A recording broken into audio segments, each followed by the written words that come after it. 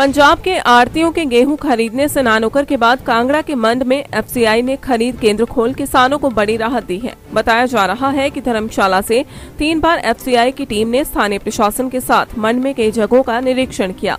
इस दौरान ठाकुर द्वारा शानहर उपमंडल के सामने बंद पड़ी राइस मिल की जगह तमाम औपचारिकताएँ पूरी होने पर विधायक रीता धीमान के सार्थक प्रयासों से भारतीय खाद्य निगम ने गेहूँ खरीद केंद्र खोल दिया। बता दें कि मन के लोगों की पिछले 20 साल से गेहूँ खरीद केंद्र खोलने की मांग को लगातार दरकिनार किया जाता रहा है, पर इस बार विधायक रीता धीमान के प्रयास रंग लाए और सैकड़ों किसानों को हज़ारों टन गेहूँ बेचने के लिए पंजाब के चक्करों से छुटकारा मिल गया। मैं आदर्श शर्मा, भारतीय जनता युवा मोर्चा जिला अध्यक्ष, संगठनात्मक जिला नूरपुर। मैं पिछले दिनों से, बहुत दिनों से जो फ़सल बेचने की गेहूँ बेचने की जो समस्या इंदौरा विधानसभा क्षेत्र में आ रही थी, उस समस्या का हल करते हुए मुख्यमंत्री हिमाचल प्रदेश व स्थानीय विधायिका रीता दिमान जी का मैं हार्दिक धन्यवाद करता हूँ, जिन्होंने इस समस्या को पुरजोर तरीके से सरकार के बीच में उठाया।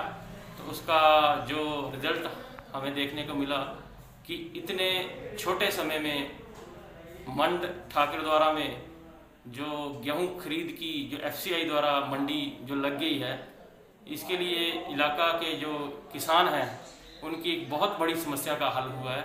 मैं पब्लिक चैनल के माध्यम से विधायिका रीता दिमान जी का, मुख्यमंत्री हिमाचल प्रदेश सरकार, श्री जयराम ठाकुर जी का हार्दिक धन्यवाद करता हूँ।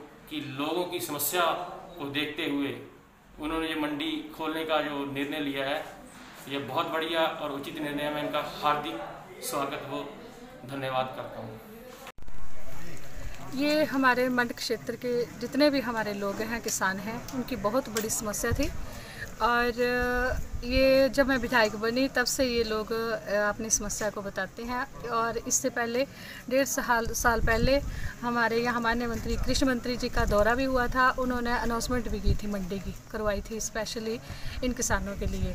और यहाँ के जितना मंड क्षेत्र में दाना होता है, जितनी फ़सल होती है, शायद इतनी पूरे हिमाचल प्रदेश में होती होगी। और इनकी समस्या को देखते हुए माननीय मुख्यमंत्री जी ने भी, मैं उनके ध्यान में भी थी ये बात, और उन्होंने भी प्रयास किया है और परमानेंट यहाँ मंडी जो है वो खुलवाई जाएगी वहाँ और ये जो जो अचानक इनका समस्या का सामना करना पड़ा है, जैसे पंजाब वालों ने मना कर दिया कि हम आपकी फ़सल को नहीं खरीदेंगे।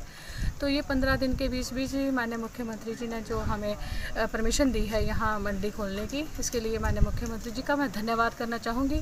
बाकी हमारे जितने भी हमारे इलाके के किसान भाई हैं, मैं उनसे आग्रह भी करना चाहूँगी, निवेदन भी करना चाहूँगी कि आपको किसी भी उनको आश्वासन भी देना चाहूँगी कि किसी भी समस्या का आपको सामना नहीं करने पड़ेगा। जो भी होगा, मैं आपके लिए हर वक्त यहाँ खड़ी हूँ, प्रयास करूँगी। माननीय मुख्यमंत्री जी की तरफ़ से भी कोई किसी बात की कमी नहीं रहेगी और आपको परेशान होने की ज़रूरत नहीं है। धन्यवाद।